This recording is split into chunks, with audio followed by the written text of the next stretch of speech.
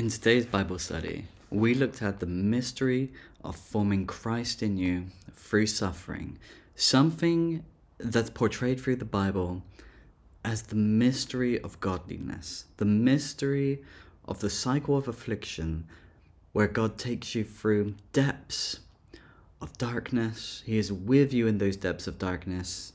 He guides you through and He brings you out at the end into beautification where you're able to see Christ as if with spiritual eyes, see Him face to face, know His beautification, know His glory, know more of who He is, because God, through these hardships, forms Christ in you.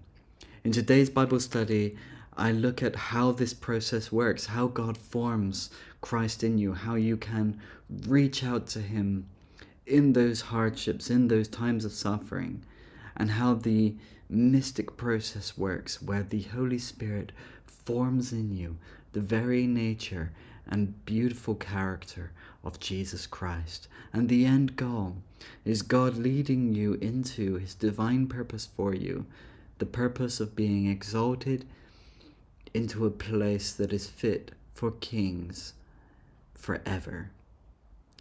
Come and learn about this process it's available to you on my Patreon. If you want to visit my Patreon, it's available at www.patreon.com forward slash Christian Seer, where this Bible study is available to you in full. If you like this video and would like more mentoring or teaching materials on the biblical perspective of these spiritual gifts, why don't you join me on my Patreon?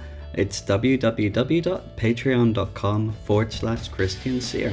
If you like this video, please give me a like below, subscribe, and follow, and leave a comment below. Let me know if you have any questions, any thoughts. I love to hear from you, and I look forward to you joining me for the next video, which will be coming soon.